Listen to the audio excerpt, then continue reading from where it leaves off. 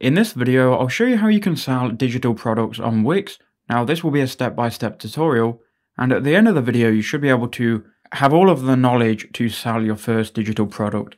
So this is going to be assuming that you've already got a website, and you just want to add a store to it and sell that product. So I'm going to go and select and edit this website, which happens to be a gardening website I created for another video. But nonetheless, I'm going to go to edit site, and we're going to edit this and add a store together. So here I am on this website now. Let's just pretend that this website is fully functional. I know it says it's Knowledge Gardens, it's a bit of a joke website that I created for a video, but we're going to go ahead and add a digital product to this website and I'll show you how to sell it. So what you want to do is go to add elements, and then you want to go to store, and then add to site, and that's going to add an online store to your website. Now just be patient, this could take a while, because Wix is sometimes very slow when adding elements, but just be patient and it will add a Wix store. Now there are a lot of things that you need to get set up here to sell your product, so bear with me and I'll show you what you need to do. So here you can see it's added the store to your website. So this window is going to pop up. You can go and run through this if you want. But what I recommend you do is just make sure that you've got your shop like within the borders. Like this is going to be the cart here, which is fine. That can be there. Wix membership area, we don't need. This is for another video. I'm going to delete that and then I'm going to move this menu here over here so we've got shop in view because shop is where your products are going to live. So if we scroll down now, you're going to have all of these example products in your shop.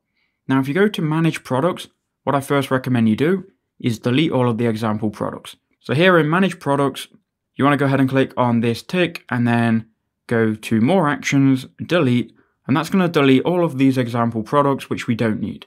Now we can add our first product. So we want to click on new product, digital file. And then from here, we can start to configure the file and build out this product page. So let's say we're a gardening website, right? So let's say I'm selling a course on how to become a gardener. Obviously, you would have a course or a product in mind. It doesn't matter what you're trying to sell. As long as it's a digital product, this video is going to help. So now we can upload a file. So I'm just going to upload a zip file and again, you're just going to have to ignore the course name and the contents of the course. I'm just going to click on upload media and we'll just find something to upload here as an example. So I'm just going to upload this PSD file. Just pretend that this is a full course on how to become a gardener.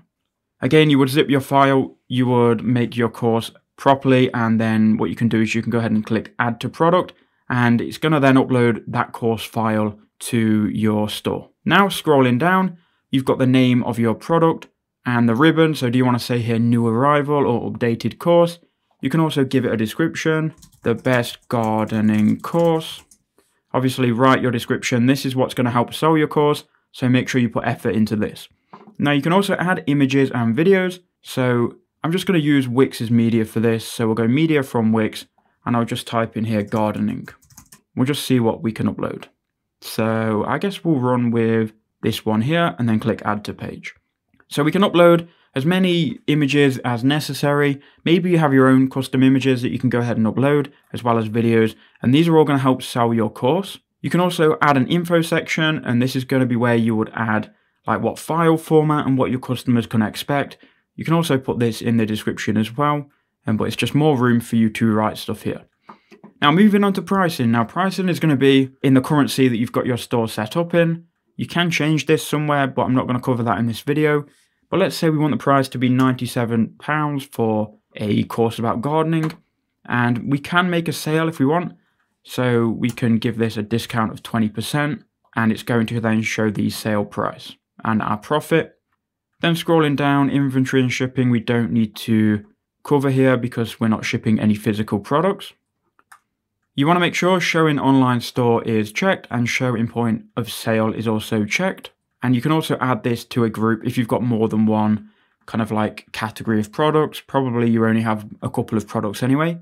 So I'm going to save this and it should then upload this course to our website. Now it's important to note we haven't yet added any payment methods, so we can't actually get paid for this.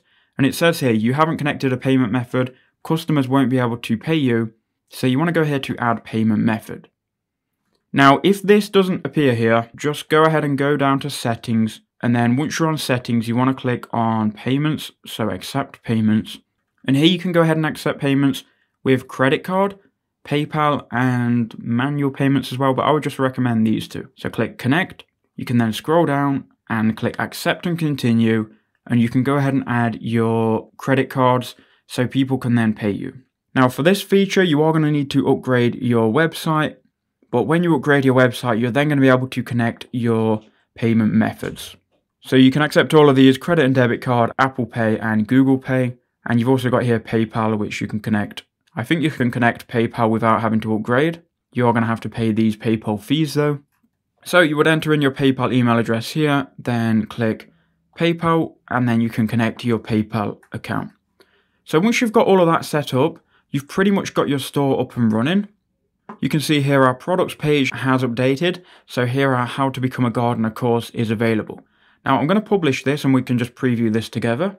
So now that this is live, we can view this website. So here is our terrible looking website, but if people go to the shop, they'll see our store. And you can customize this as well and this, all like you can do normally in Wix. But anyway, here is our product, how to become a gardener. If someone wants to click on that, they could then buy this product. So they will click add to cart and that will then update our cart. They can then click view cart. And once we've added our payment methods, we can then obviously allow people to pay. So they will click checkout and it's saying here we can't accept orders right now. This is because we haven't set up any payment information.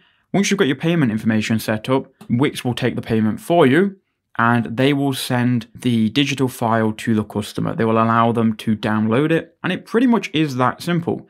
Now you just need obviously a Wix premium plan, which you can go ahead and sort out yourself. And that's pretty much the whole process of you selling digital products on Wix.